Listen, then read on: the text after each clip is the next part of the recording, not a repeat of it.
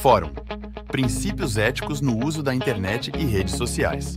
Olá, estudantes! As aplicações pedagógicas de internet e redes sociais envolvem alguns princípios orientadores de ética e cidadania digital, conforme trabalhamos na unidade 2 do componente curricular. Vimos que devem ser considerados aspectos da construção democrática do conhecimento e introduzidas noções de alteridade na formação das novas gerações.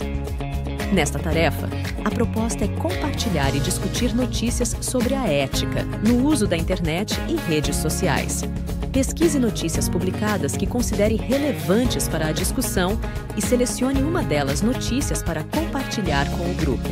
Preencha o template disponível na atividade com as informações sobre a notícia, indicando o link de acesso à notícia completa na internet e um breve comentário seu relacionando a notícia às discussões da unidade 2.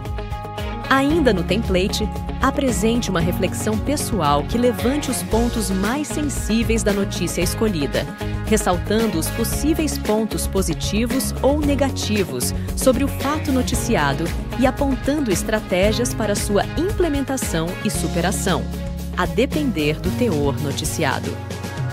Em suma, os procedimentos de postagem no fórum são Pesquise algumas notícias relacionadas à ética no uso da internet e redes sociais. Selecione uma das notícias encontradas e preencha o template com os dados necessários sobre essa notícia.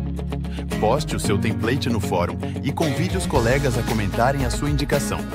Leia e comente as notícias publicadas pelos colegas. Sempre que possível, também busque e compartilhe materiais sobre o tema textos, vídeos, infográficos, figuras e outros, argumentando e fundamentando suas ideias. Boas reflexões.